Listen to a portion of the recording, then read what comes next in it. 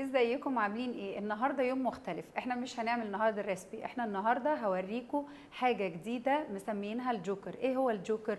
واك زبتر عبارة عن إيه بقى؟ طاسة قلاية حلة اللي انت عايزاه. على حسب نوع اللي هتعمليه فيها هي معاكي رايحة في أي حاجة. هنعمل مع بعض إيه النهارده بقى؟ هنقلي فيها ثلاث حاجات مختلفة بتيست مختلف وهنشوف الطعم هل هيكرف عليها ولا لأ. طبعا 100% مستحيل الطعم هيكرف. ليه؟ عشان إحنا هنعمل في الزبتر النهارده. تعالوا مع بعض نشوف هنعمل إيه الثلاث حاجات اللي هنقليهم في نفس الطاسة وهندوق مع بعض ونقول لكم رأينا في الآخر.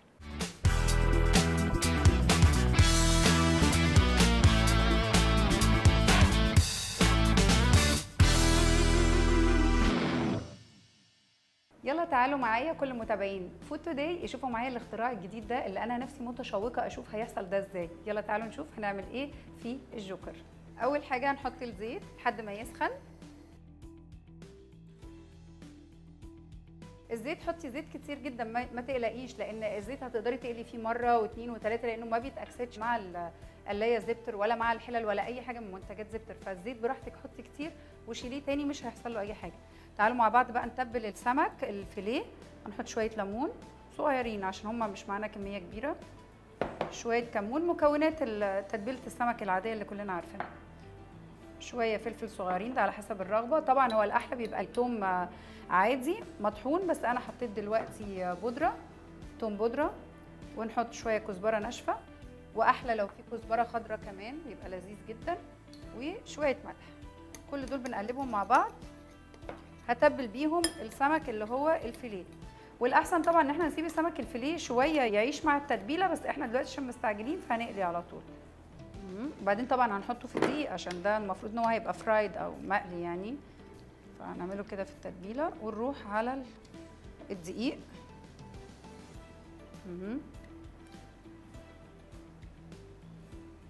خلصنا خلاص تتبيلة السمك الفيليه. دلوقتي هننزل بالبطاطس. أول حاجة هنحطها في الطاسة بتاعتنا.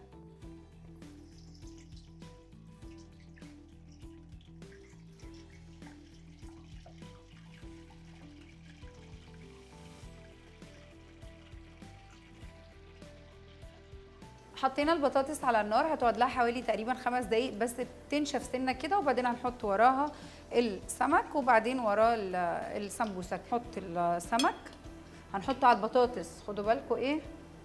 كله نازل على البطاطس. خدتوا بالكم إن إحنا حطينا البطاطس على الزيت وهو بارد؟ يعني هي الميزة في الحلة الواك أو في المقلاية الواك على حسب كل واحد هيسميها إيه إنك بتحط على الزيت وهو ساقع وما تقلقيش خالص. في نفس الطاسة مع كل حاجة.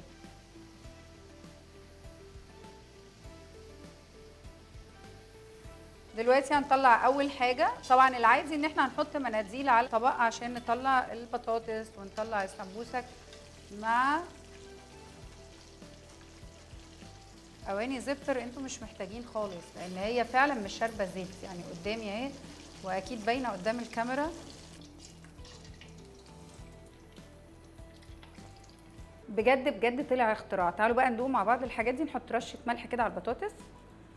ونحط رشة فلفل وندوق البطاطس اللي أنا مش شايفة فيها نقطة زيت وده الغريب بجد طلع اختراع.